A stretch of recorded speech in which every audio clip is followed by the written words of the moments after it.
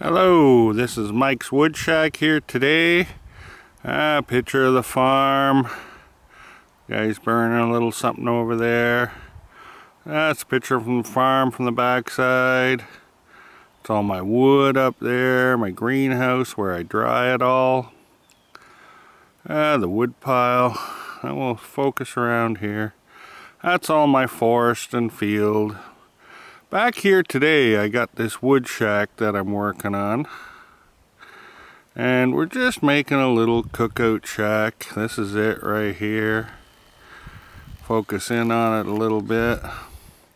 That's the wood shack we're building back here at the forest just for us to play in. This morning we had a cookout. Got a brand new wood stove in it that I built out of a propane tank. It's kind of nice. So we're gonna go inside now and have a look around. There, it's got a new roof on it. I don't know if you can see it. It's got a whirly jig and a sunroof. Put a window in over here. And then that's our our wood shack. So I'm just gonna I'm trying out a new tripod here today. So I'm just seeing if it works. That's Joe's hunting gear and stuff. We call it Joe's Wood Shack. I don't know if you can see it. Joe's Shack. I'll go in here. Now this is the wood shack inside. We're not quite done yet. We're still in the construction stages. This this here is going to be the place to hang up the coats and jackets. That's a sliding window we built. Have a look out in the forest there. Built some stuff. We can see how far if we're shooting or anything like that. We can see how far we shoot.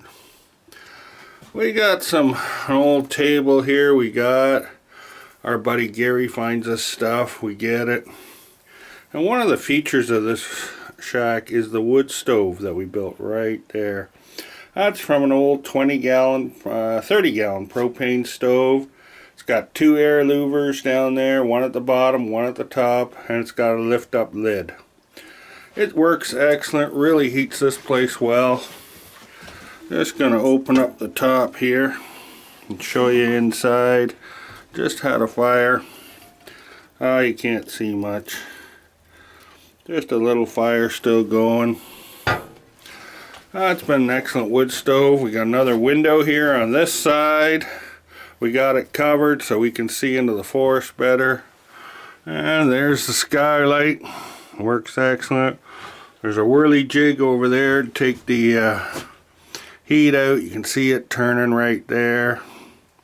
All right. So this is the wood shack we built just at the edge of our forest. We may move it into the forest. We just use it as a little party spot have a beer, and get away. It's kind of a fun spot. Go back outside. I'll focus in on the forest. We got our barbecue here. Now here's the forest. There. It's about a 50 acre hardwood with a bit of a swamp in it and the rest is hardwood forest.